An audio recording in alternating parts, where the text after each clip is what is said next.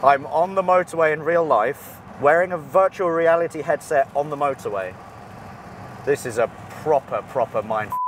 Welcome to the future of driving, also known as being driven. And as much as we hate to admit it, autonomous cars are being developed right now by companies like Tesla, Volvo, and Renault. One of the most advanced autonomous cars today is the Mind Off Level 4 equipped Symbioz, a vehicle that makes the Level 2 equipped Tesla suddenly look a bit like a horse and cart. So, what do you say we get straight into this? You may remember about two years ago, I drove a Tesla Model S in autopilot mode on the UK motorway at 70 miles an hour. The important thing to remember about that is that the Tesla Model S is level 2 autonomy mode.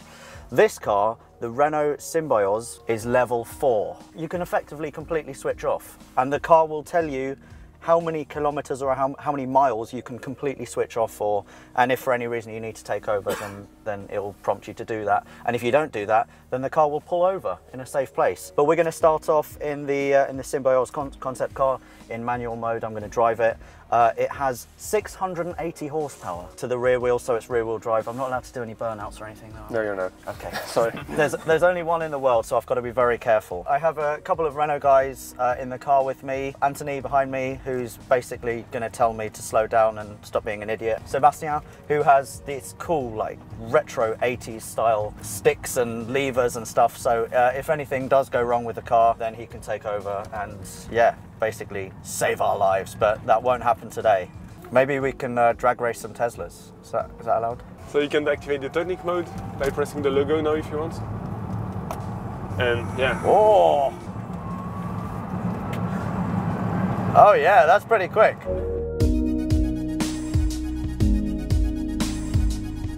What we're going to do now is going to go into full autonomous mode, holding these two buttons where your thumbs are for two seconds. exactly. Oh, And now you can let it go. I can turn around now, right? Yeah, you should be. Wow, I can literally just switch off and have a conversation with you guys. This is so much more than Tesla Autopilot because with Tesla Autopilot that you saw about two or three years ago, it's changing lane. Yeah, yeah. That's not you doing it. No, no, he's doing nothing. As I was saying, uh, Tesla Autopilot, you have to be alert. You can't really do anything else. And in the UK, you have to actually have your hands on the steering wheel, which kind of defeats the object of having an autonomous car. Here in this level 4 car, you can pretty much do what you like. Ethan, tell me your thoughts. It's absolutely ridiculous. Yeah. The thing with the Tesla is you have to To trigger, indicate when yeah. you want to go as well. Yeah. This is just you're not doing anything. So how do I set my top speed and how does it does it just stick It's, to a autom- it's automatic based on the road signs Yep. and based on the map. So it will it will stick to 130 kilometers an hour, no no higher. It's changing lane. Yeah. Uh, the windscreen wipers, I presume, will go on, even though it doesn't really matter because I don't really need to worry too much about what's ahead of me, right? We have a toll coming up. You're not doing anything. No. I'm not doing anything. Wow, you are really working hard, car, aren't you? Yeah, actually, you can see how much corrections it makes Yeah. every second. Oh, très classe. And then we accelerate hard into the future. That is crazy. That's pretty mad, isn't it? There will be level 5 soon, which basically means that you will get into your car, might not have a steering wheel. You'll tell your car, I want to go to IKEA or wherever the hell you want to go, and it will take you there. And you basically don't need to do anything. Probably don't even need to have a windscreen with level 5, do you? This is so weird. Ethan, your face. Well, it's, it's basically like the step up from Tesla. Yeah. You don't do anything. Yeah. It does. Since Yeah. we've got the motorway, we haven't done anything. Yeah. What you probably can't see at the moment is that on the highway itself, there are uh, antennae. So there's five antennae On on here. So in the central reservation, there are antennae, and they talk to the car. I got the smartphone here. I can I can pair it to my seat, and then if we want, we can watch a movie. We can watch movies as well. I'm being driven by a car, and I'm in the driver's seat. How messed up is that? Look at that.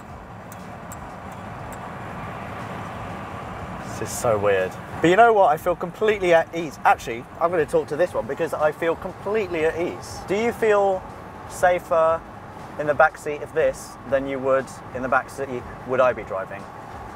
Speak completely honestly. Because there's, it reacts, What? it reacts quicker than Yeah. The car It's- reacts it's- quicker than you well, think. It's seen something. Yeah. Actually, yeah. Actually, it it it evaluates the situation 10, 10 times a second. How many times do I evaluate a situation? One time every 10 seconds. One time every 10 seconds. Yeah, maybe that's fair. So what you're saying again is that the car is better than me. Uh, better than all of us. Okay, merci à tout. and away we go. How crazy is that?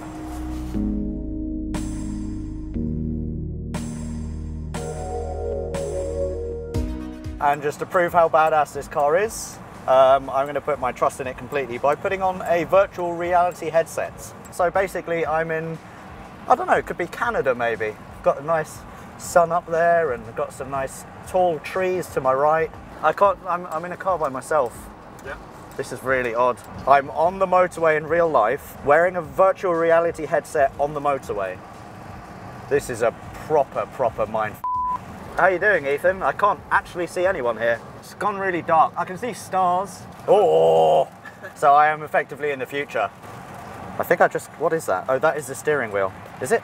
Oh god, there's stuff coming at me. Oh Jesus, I'm flying. Shall I take it? It's weird because I've just been in a virtual reality car and now I'm driving the car real life. I feel that like my brain is struggling with driving again. So nearly 50 kilometres just done. We've done nearly 50 kilometres. Again, because the car did most of the work, most of the driving itself. If you told me that we did 15 kilometres, I'd believe you. It will almost impact people like lorry drivers the most if they had this technology. So in 2023, when something like this is a production car, what kind of price do you think people will have to pay for something with all this technology? The, the reason for this date is that we think the technologies will be affordable by Okay. then. So there are actually, let's say, two major stakes. First, regulation, because right now this is not legal. And so we are working hard with the governments and so on to, to make it legal. And second, the technology is right now very expensive and we think it will be affordable by then. So you said that this currently isn't legal. So how is it that I was able to be driven? We didn't tell anybody. just, just kidding. We went to discuss with the government to get a special authorization. Yeah. That's why you have Sebastian with this on your right. We've Okay. got the following car behind us. Are you are you a front of us. government representative? And if I if I talk too much, you're going to kill me. Depends on what you say. Yeah, yeah, exactly. Yeah. Ethan, final thoughts? Huge, huge step up. I can't believe you said it's better than me though. That's that's deeply hurtful. We've done what did you say about 50 kilometers?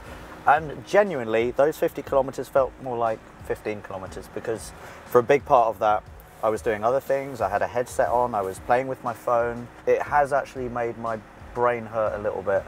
And uh, yeah, come 2023, loads of people will be uh, getting driven around while doing other things. It makes a really boring motorway journey very, very bearable. So uh, bring it on.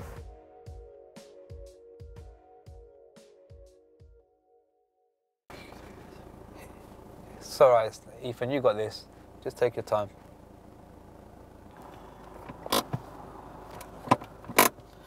Got a bit of slack there.